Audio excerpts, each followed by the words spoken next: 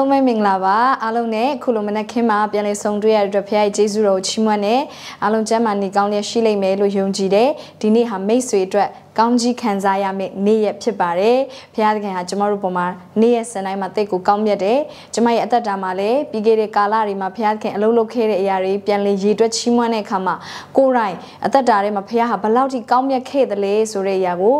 ကြီးမားစွာမြင်တွေ့ရတာဖြစ်တယ်။ဒီနေ့မှာတော့ကျမရဲ့အသက်တာထဲမှာဘုရားရဲ့အတန်ကိုဘလို့ကြားရ ဒလေးဆိုတဲ့အရာနဲ့ပတ်သက်ပြီးတော့အရောက်ချင်းစီတိုင်းကိုဝင်ငှသွားကြတာဖြစ်တယ်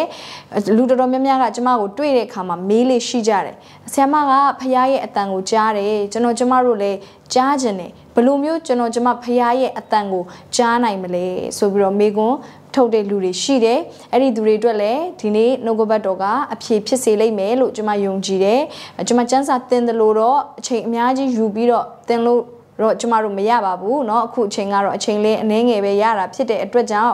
ကျမအနေနဲ့ကိုယ့်ရဲ့အသက်တာထဲမှာလက်တွေ့ဖရာသခင်တွင်တင်ပေးခဲ့တဲ့အရာတွေနဲ့ကျမရဲ့ဖရာအတန်ကြားခြင်းပုံစံဘလိုမျိုးပုံစံနဲ့ကြားလေးရှိသလဲဆိုတဲ့အရာတွေကိုဥပမာပေးပြီးတော့ကျွန်မဒီရက်အနှင်းငယ်အတွင်းမှာထပ်မံပြီးတော့ကျွန်မပြောပြသွားမှာဖြစ်တယ်အဲ့တော့ဖခင်ရဲ့အတန်တော်ကကျွန်မတို့ဘဝအတွက်သိကိုအရေးကြီးပါတယ်เนาะကျွန်မတို့ဖခင်ရဲ့အတန်တော်ကဖခင်သခင်ကျွန်မတို့ရဲ့အသက်တာမှာတစုံတစ်ခုလုံမဲ့အခါမှာအရင်ဦးဆုံးလာသောအရာဖြစ်တယ်ဖခင်ကငွေတွေအရင် မပေးခင်မှာဖခင်ကအခြေအနေတွေကိုအပြောင်းလဲမလုပ်ခင်မှာအရင်ဆုံးအမြဲတမ်းသူ့ရဲ့အတန်တော်ကိုအရင်ဆုံးစေလွတ်ပါတယ်။ကဘာကြီးကိုပဲဘုရားသခင်ဖန်ဆင်းတဲ့အခါမှာကြည့်ကြည့်ပါ။ဘုရားကအရင်ဆုံးအလင်းဖြစ်စေလို့သူ့ရဲ့စကားကိုအရင်စေလွတ်တယ်။အဲ့ဒီစကားရောက်လာမှပဲကြံတဲ့အရာအားလုံးကအပြောင်းအလဲဖြစ်လာတယ်။အလင်းဖြစ်စေလို့ဘုရားပြောလိုက်မှအဲ့ဒီအတန်တော်ရောက်လာမှအလင်းဆိုတဲ့အရာကဖြစ်ပေါ်လာတယ်။ဟိုမြေဖြစ်စေဆိုတဲ့အခါကုန်းဖြစ်စေဆိုတဲ့အခါမှာ ကုန်းဆိုတဲ့အရာပေါ်လာတယ်အဲ့တော့အခြေအနေတွေမပြောင်းလဲခင်မှာအရင်ဆုံးဖះရဲ့စကားကအရင်လာရတယ်ဖះရဲ့စကားကတနည်းအားဖြင့်ပြောရမယ်ဆိုရင်ဖန်တီးနိုင်စွမ်းနဲ့ပြည့်ဝသောအရာဖြစ်တယ်။ကျွန်မနဲ့တူပြောမအောင်ဖန်တီးနိုင်စွမ်းနဲ့ပြည့်ဝတယ်။အဲ့တော့ဖះရဲ့စကားကျမတို့ရဲ့အသက်တာတွေကိုရောက်လာပြီဆိုရင်ဒီတိုင်းပဲသူက မပြီးသွားဘူးကျန်းစာမှာလည်းပြောတယ်ငါစကားကအကျိုးမရှိဘဲနဲ့ငါထံကိုပြန်မလာဘူးလို့ဖះကပြောထားတယ်အဲ့တော့ဖះသခင်ကစကားပြောလိုက်ပြီဆိုရင် तू ပြောတဲ့အရာအတိုင်းဖြစ်ကိုဖြစ်လာတယ်ဖန်တီးပေးခြင်း ခံရတယ်။အဲ့တော့ကမ္ဘာမှာကျမတို့ကြည့်ကြည့်တဲ့အခါမှာဖယားသခင်သည်တစုံတစ်ခုမလုပ်ခင်မှာသူ့ရဲ့ prophet ပြုချက်တွေအားဖြင့်ကြိုတင်ပြီးတော့သူ့ရဲ့အလိုတော်တွေကိုပြောတယ်။အဲ့ဒီအရာတွေက prophet ပြုချက်တွေဟာအချိန်ကာလတစ်ခုမှာသူချင်းချက်ထားတဲ့အချိန်မှာပြန်လည်ပြီးတော့ပြည့်စုံလာတယ်ဆိုတာကိုကျမတို့မြင်တွေ့ရတယ်။ဒါဘာကိုဖော်ပြနေလဲ။ဖယားသခင်သည်တစုံတစ်ခုကိုမလုပ်ခင်မှာအရင်ဆုံးစကားပြောတယ်ဆိုတဲ့အရာကိုကျမတို့မြင်တွေ့နေရတာဖြစ်တယ်။ ဒီပြင်ဖះရဲ့အတန်တော်ကိုဖះကယုံကြည်သူတွေကိုကြားစေခြင်းတယ်ကျမ်းစာတစ်ပိုက်မှာဒီလိုပြောပါတယ်ရှင်ယောဟန်ခရစ်ဝင်ခန်းကြီး30အငယ်20ခွန်မှာငါတိုးတို့သည်ငါစကားတန်ကိုနားထောင်၍ငါနောက်သို့လိုက်ကြ၏ထိုတိုးတို့ကိုငါသိ၏အဲ့တော့ငါတိုးတို့သည်တိုးဆိုတာကတော့ယုံကြည်သူညီကိုမောင်နှမတွေကိုပြောတာဖြစ်တယ်မိတ်ဆွေနဲ့ကျမလိုမျိုးဖခင်ရဲ့သားသမီးတွေကိုပြောတာငါတိုးတို့ဟာ ငါစကားအတန်ကိုကြား၍တဲ့အဲ့တော့တနည်းအားဖြင့်ပြောရမယ်ဆိုရင်သုံးမှန်ရင်ဖခင်ရဲ့အတန်ကိုကြားနိုင်တယ်ဟာလေလုယငါစကားတန်ကိုကြား၍ငါနောက်သို့လိုက်ကြ၏အဲ့တော့အတန်ကိုကြားမှပဲဖះနောက်ကိုလိုက်နိုင်မှာဖြစ်တယ်လူအချို့တွေကဖះအတန်ကိုမကြားတတ်တဲ့အတွက်ဖះအနောက်ကို မလိုက်လာနိုင်ဘူးအဲ့တော့အချို့တွေကတစုံတယောက်စီကနေပဲဖះရဲ့အတန်ကိုနားထောင်တယ်ကိုယ်တိုင်ကဖះအတန်ကိုနားမထောင်ဘူးဖြစ်တဲ့အတွက်ကြောင့်နော်ကိုယ့်ရဲ့ခရိယန်အသက်တာရှောက်လန်းခြင်းမှာဖះအတန်မကြားဘဲနဲ့သင်ရှောက်လန်းနေတယ်ဆိုရင်ဖះရဲ့နောက်ကိုသင်ဟာအဆုံးထိတိုင်အောင်လိုက်နိုင်မှာမဟုတ်ဘူးဖြစ်တယ်အဲ့တော့ငါတိုးတို့သည်ငါအတန်ကိုကြား၍ငါနောက်သို့လိုက်ကြ၏ထိုတိုးတို့ကိုငါသိ၏အဲ့တော့သူ့ရဲ့အတန်ကိုကြားတဲ့တိုးတွေကိုပဲ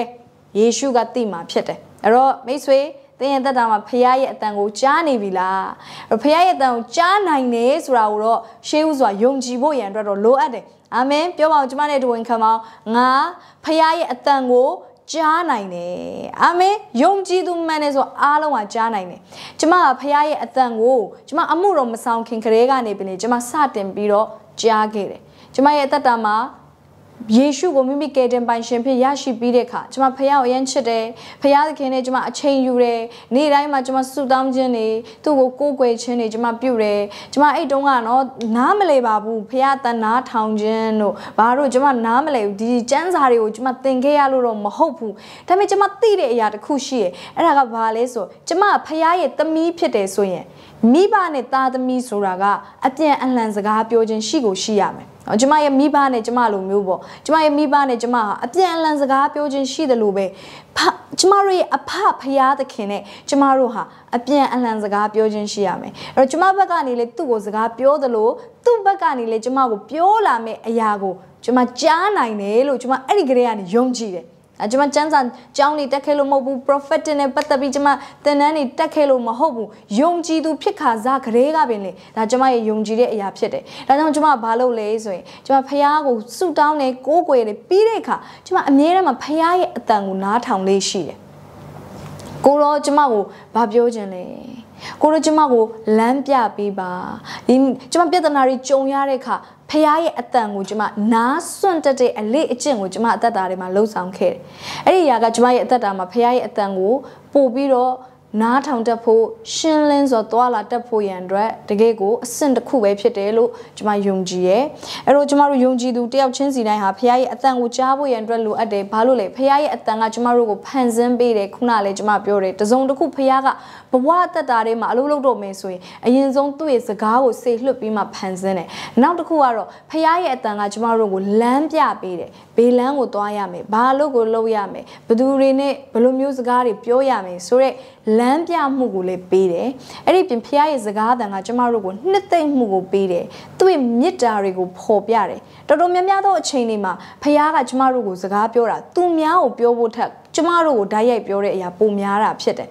ဟုတ်တယ်ကျမတို့ဘုရားခင် prophetic စကားတွေပေးပါတယ်ကျမတို့တစုံတယောက်အတွက်ဘာဘယ်လိုမျိုး profit ပြုပါဆိုပြီးတော့ဖခင်ကျမတို့လာပြီးနှိုးဆော်တဲ့ຢာတွေရှိတယ်ဒါပေမဲ့မိတ်ဆွေကျမဘဝရဲ့အချိန်တော်တော်များများဖခင်စကားပြောတာကျမအတွက်ဖြစ်တယ်ကျမကို तू ဘယ်လောက်ချစ်တယ်ဆိုတဲ့အကြောင်းပြောတယ်ကျမရဲ့ပြဿနာတွေအခြေအနေတွေထဲမှာ तू ကျမကိုဘယ်လိုမြင်လဲဆိုတဲ့အကြောင်းကိုပြောတယ်ဘယ်လိုမျိုးလမ်းလျှောက်စေခြင်းလဲဆိုတဲ့အကြောင်းကိုပြောတယ်အဲ့တော့မိတ်ဆွေသင်ရဲ့အသက်တာမှာဖခင်ရဲ့အတန်တော်ကို သူများအတွက်ပဲကြားပြီးကိုယ့်အတွက်ကိုမကြားဘူးဆိုရင်တစုံတစ်ခုတော့မှားနေပြီဖြစ်တယ်။ဘာဖြစ်လို့လဲဆိုတော့ဖခင်ကတင့်ကိုပို့ပြီးစိတ်ဝင်စားတယ်။သင်နဲ့ပတ်သက်ပြီးတင့်ကိုပို့ပြီးပြောချင်တာဖြစ်တယ်။အာမင်။ဟာလေလုယာ။ဒါပေမဲ့ကျမတို့အတွက်ပဲမဟုတ်ပါဘူး။ဖခင်ရဲ့စကားသံဟာလူတွေအတွက်လူပုဂ္ဂိုလ်တွေတင်ရဲ့ပတ်ဝန်းကျင်ကလူတွေဒါမကောက်နိုင်ငံနဲ့ခြီးပြီးတော့ generation တစ်ခုလုံးနဲ့ခြီးပြီးတော့လေဖျားသခင်ဟာစကားပြောနိုင်တာဖြစ်တယ်ဥပမာကျမ်းစာထဲမှာကျမတို့ဗျာဒိတ်ကျမ်းကိုရေးထားတဲ့ယောဟန်ဆိုရင်ဖျားကသူ့ကို လောင်လာမယ့်အနာဂတ်နဲ့ပတ်သက်ပြီးတော့ဖွင့်ပြတယ်နော်နိုင်ငံတွေနဲ့ပတ်သက်ပြီးတော့ဖွင့်ပြတယ်လူမျိုးဆက်တွေနဲ့ပတ်သက်ပြီးတော့ဖွင့်ပြတယ်အဲ့တော့ဖခင်ရဲ့စကားသံဟာ skills အမျိုးမျိုးနဲ့ personal အတွက်တော်၎င်း church အတွက်တော်၎င်း nation အတွက်တော်၎င်း worldwide အတွက်တော်၎င်းလာနိုင်တာဖြစ်ပါတယ်အာမင်အဲ့တော့ဖခင်စကားသံဟာ အကျိုးကြီးစွာရှိတယ်အရာခက်သိမ်းပြောင်းလဲစေနိုင်မိတ်ဆွေသိလားဖခင်ရဲ့စကားသံ prophet ပြုချက်တွေဟာရောက်လာပြီးရင်ဖြစ်ကိုဖြစ်လာတယ်ဘေးအင်အားကြီးပါတယ်ဆိုတဲ့လူအုပ်စုမှမခံနိုင်ဘူးဖြစ်တယ်အဲ့ဒါလောက်ထိတကိုးကြီးတယ်ဖခင်ရဲ့စကားကဟာလေလုယာအာမင်ဟုတ်ပြီအဲ့တော့ဖခင်ရဲ့စကားတန်ကိုเนาะကျွန်တော်ကျမတို့ဘယ်လိုကြားနိုင်မလဲเนาะပထမဦးဆုံးဖခင်ရဲ့အတန်ကိုသင်ဟာဓာတ်ရိုက်မကြားတတ်သေးဘူးဆိုရင် အရင်ဆုံးသင်ရဲ့အသက်တာမှာဖျားအတန်ကိုကြားတတ်တဲ့သူတွေနဲ့သင်ဟာပေါင်းသင်းဖို့ရန်အတွက်လိုအပ်တယ်ဥပမာရှမွေလရှမွေလဟာသူဟာအသက်ငယ်ငယ်လေးကလေးကနေသူ့အမေကသူ့ကိုအေးလိရဲ့ဒီတဲတော်ထဲမှာနော်သွားပြီးတော့အမှုဆောင်ဖို့ရန်အတွက်သူ့အမေကသူ့ကိုစေလွတ်ထားတယ်မွေးပြီးတော့မကြဘူးသူဟာကလေးအရွယ်ဘဝလေးကလေးရပင်လေမိခင်ရဲ့ဖျားနဲ့ ဟာနာရဲ့ဂျားတွေကဗရိညင်ကြောင့်မို့လို့ဒီကလေးကဗိမာန်တော်ထဲမှာသွားနေရတယ်အေးလေးနဲ့အတူဖခင်ရဲ့ရှေ့မောက်မှာရစ်ပရောဟိတ်အမှုအရာ तू ကဆောင်ရွက်ရတယ်ငငယ်လေးကလေးကနေအဲ့တော့ तू ကဖះအတန်ကို तू မကြားတတ်ခင်မှာ तू ဘသူအတန်ကိုအရင်ကြားတတ်လဲဆိုတော့အေးလေးရဲ့အတန်ကို तू ကအရင်ကြားတတ်တယ်သူ့ဆရာအေးလေးကသူ့ရဲ့ဝိညာဉ်ဖခင်ဖြစ်တယ်အဲ့တော့အေးလေးက အဲ့ဒီချိန်မှာနော်ဖရာသခင်စကားကို तू ကအပြည့်အဝနားမထောင်သူ့ရဲ့သားတွေကိုဖရာရဲ့အလိုတိုင်းမဆုံးမတဲ့အတွက်ဖရာကအေးလိကနေပြီးတော့ယစ်ပရောဟိတ်မျိုးနွယ်ကိုရက်လိုက်ပြီးတော့ယစ်ပရောဟိတ်မျိုးနွယ်နောက်တစ်ယောက်ဖြစ်တဲ့ရှမွေလကိုအသုံးပြုဖို့ရန်အတွက်ဖခင်ကလွှဲတော်မှာဖြစ်တယ်နော်အဲ့တော့ကျမတို့ကြည့်ရတဲ့အခါမှာရှမွေလဟာယစ်ပရောဟိတ်မျိုးနွယ်ကတော့မဟုတ်ဘူးဒါပေမဲ့သူဟာဖခင်သခင်ရဲ့တီးတန့်ရွေးကောက်ခြင်းခံရသော တရားသူကြီးပရောဖက်တစ်ယောက်ဖြစ်တယ်သဘောပေါက်မလားမသိဘူး तू ကယစ်ပရောဟိတ်တော့မဟုတ်ဒါပေမဲ့တရားသူကြီးပရောဖက်တယောက်ဖြစ်တယ်ဖယားကန်သူ့ကိုယစ်ပရောဟိတ်အနေနဲ့လည်းအဲ့ဒီအချိန်မှာသူ့ရဲ့နိုင်ငံမှာအသုံးပြုတယ်ဒါပေမဲ့သူဟာယစ်ပရောဟိတ်မျိုးနွယ်ကလာတာတော့မဟုတ်ဘူးတနည်းအားဖြင့်ပြောမယ်ဆိုအေလိရဲ့ယစ်အေလိကယစ်ပရောဟိတ်မင်းဖြစ်တယ်ဒါပေမဲ့သူ့ရဲ့မျိုးနွယ်ကနေလာတာတော့မဟုတ်အဲ့ရှမွေလကနော်တိုင်းပြည်မှာသူဟာလူငယ်အရွယ်မှာ အေလိနဲ့အတူတူဆက်ကတ်တယ်ဒါပေမဲ့တညကြတော့ဖယားသခင်ကရှမွေလကိုခေါ်တယ်ခေါ်တဲ့အခါရှမွေလားရှမွေလားဆိုပြီးတော့စကားပြောတဲ့အခါဖះပြောတာပါဒါပေမဲ့ရှမွေလားဖះအတန်မှန်သူမသိမိတ်ဆွေသိလားဖះကကျမတို့ကိုစကားပြောတယ်ဒါပေမဲ့ကျမတို့ကဖះအတန်ကိုမသိတာဖြစ်တယ်ဖះမပြောတာမဟုတ်ကျမတို့ကဖះအတန်ကိုနားမလေတာမဖမ်းတတ်တာ ဘာနဲ့တူလဲဆိုရင်ရေဒီယိုနဲ့တူတယ်ရေဒီယိုမှာရေဒီယိုလှိုင်းနေရတော့လေထဲမှာရှိနေတာပဲဒါပေမဲ့ရေဒီယို receiver ကသူ့ရဲ့အလုပ်ကပါလေဖွင့်ပြီးတော့လှိုင်းကိုဖမ်းရတာဖြစ်တယ်เนาะ line ဘလောက်ကနေပြီးတော့လွင့်နေတယ်ဆိုတဲ့အရာအဲအဲ့ဒီအရာကိုဖမ်းရဒီလိုပဲကျမတို့လေဖျားကတော့ပြောနေတယ်ဒါပေမဲ့ကျမတို့ဘက်ကနေပြီးတော့အဲ့ဒီဖျားပြောတဲ့အရာကိုဖမ်းရမယ်အလုပ်ကကျမတို့အလုပ်ဖြစ်တယ် ဒါတော့အေးရှင်မွေလာကမဖမ်းတတ်ဘူး။ तू ကလူငယ်လေးလည်းဖြစ်တယ်ဝိညာဉ်ရေးရမှာလဲ तू ကအရွယ်မရောက်သေးတဲ့အတွက်ကြောင့်ဖခင်သခင်ကဘယ်လိုပုံစံနဲ့စကားပြောလေးရှိလဲဆိုတော့ तू မသိဘူး။ဒါပေမဲ့မိတ်ဆွေသိလားရှင်မွေလာကအနာဂတ်မှာအနာဂတ်မှာဖယားသခင်အကြီးကျယ်အသုံးပြုတဲ့ prophet တယောက်ဖြစ်လာတယ်ဖယားသခင်ရဲ့စကားကိုရှင်းရှင်းလင်းလင်းကြားနိုင်တဲ့ prophet ကြီးတယောက်ဖြစ်လာအဲ့ဒါကိုမမေ့ပါနဲ့အဲပြောချင်တာကဘယ်သူကမှဖယားအတန်ကြားခါစမှာ ရှင်းရှင်းလင်းလင်းကြားပြီးတော့ကြီးပြင်းလာတယ်ဆိုတာမရှိပါဘူးเนาะအဲ့တော့စကားစမှာဒိုးအားလုံးအတူတူပဲဖြစ်တယ်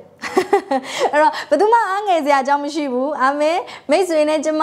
ဒီပြင်ကျမ်းစာတွေက prophet ကြီးရှမွေလကိုတိုင်သူ့ရဲ့အစဦးမှာဖယားသခင်ခေါ်လို့ခေါ်မှန်းအောင်သူမသိဘူးဖြစ်တယ်။ဒါပေမဲ့ရှမွေလမှာသိကောင်းတဲ့အချက်လေးတစ်ခုရှိတယ်။အဲ့ဒါဘာလဲဆိုတော့ဖယားသူ့ကိုခေါ်တယ်ဆိုတဲ့အခါချက်ချင်းသူဟာလေထပြီးတော့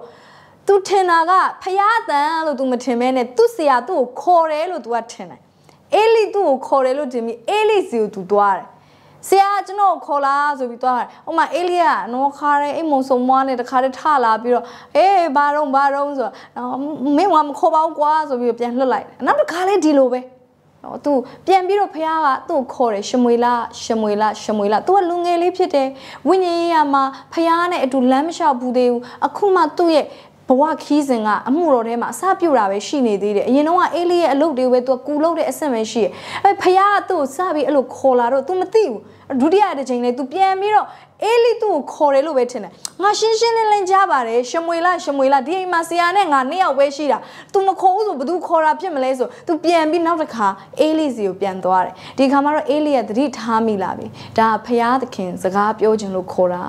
ဒါကြောင့်မလို့ရှမွေလာကိုဘာပြောလဲဆိုနောက်တစ်ချိန်အကယ်လို့အဲ့ဒီအတန်ကိုကြားရင်ကျွန်တော်ရှိတယ်ဆိုပြီးတော့ထူပါဒါဟာမင်းကိုဖရာသခင်စကားပြောနေတာဖြစ်တယ်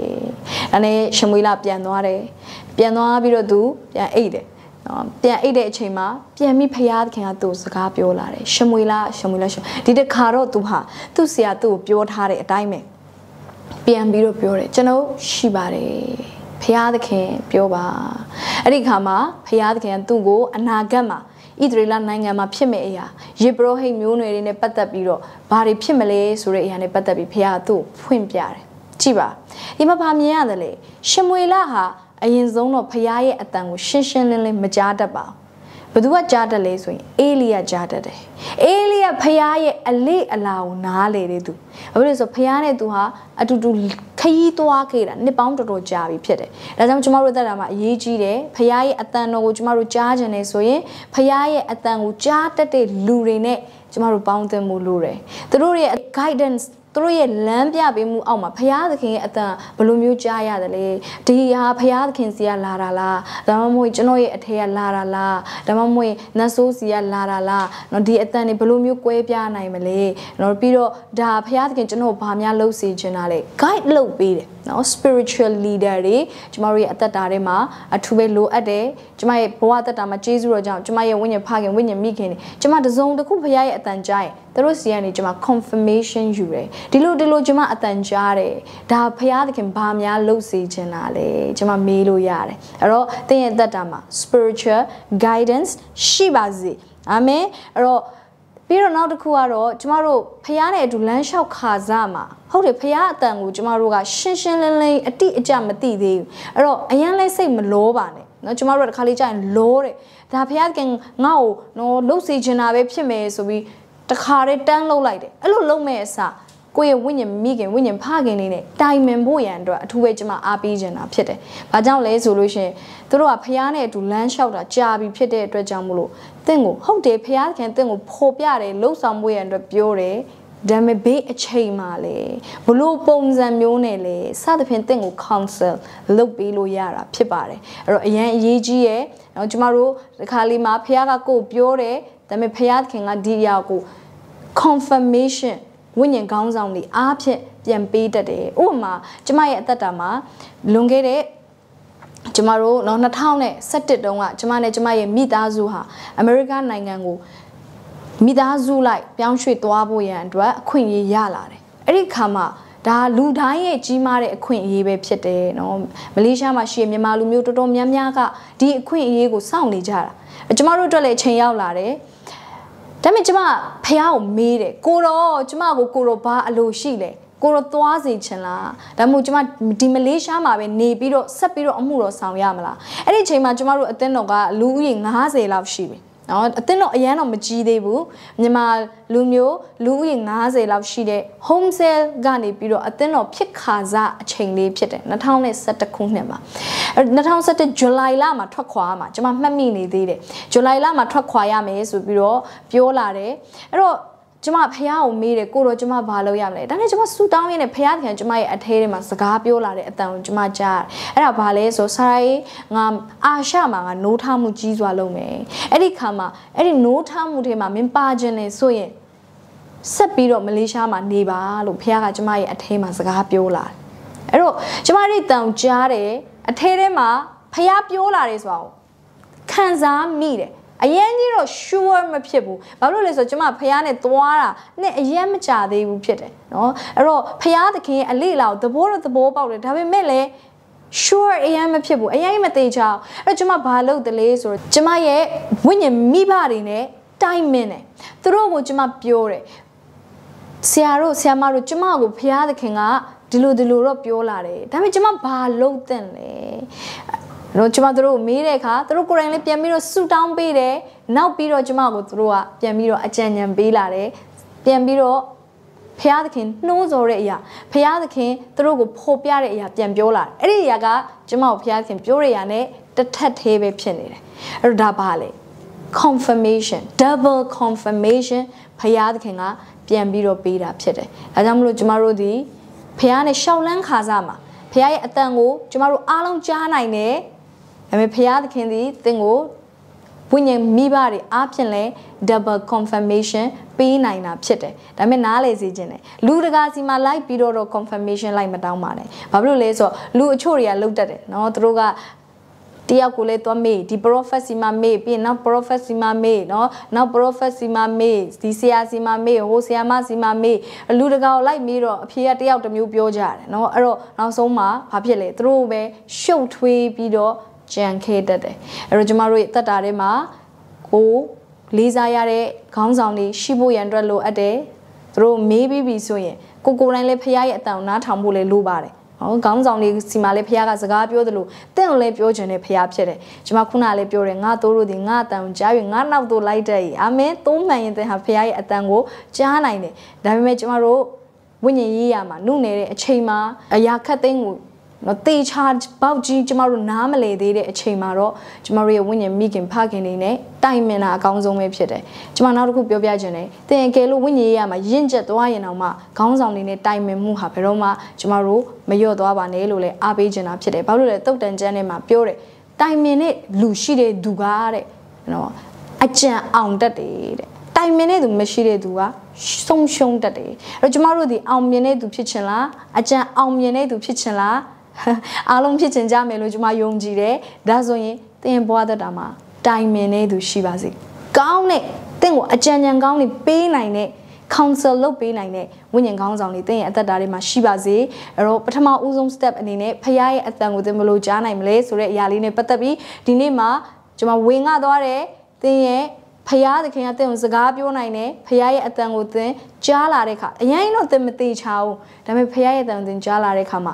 သင်ရဲ့ဝိညာဉ်ကောင်းဆောင်တွေအားဖြင့်ဖယားသခင်ဒီသင်ကို confirmation ပေးတတ်တယ်ဆိုတဲ့အရာကိုကျွန်မဒီနေ့မှာပထမဦးဆုံးအနေနဲ့ဝင်ငှသွားခြင်းနဲ့မနှက်ချင်နေ့မှာလဲဖယားရဲ့အတန်တော်ကိုဘလို့အခြားသောနီးလန်းတွေနဲ့ကြားနိုင်မလဲဆိုတဲ့အရာကိုကျွန်မဆက်လက်ပြီးတော့ဝင်ငှသွားမှာဖြစ်တယ်အဲ့တော့မနှက်ဖြန်နေ့မှာအားလုံးပြန်လည်ဆုံတွေ့အောင်အရောက်ချင်းစီတိုင်းကိုဖယားသခင်ကောင်းချီးပေးပါစေ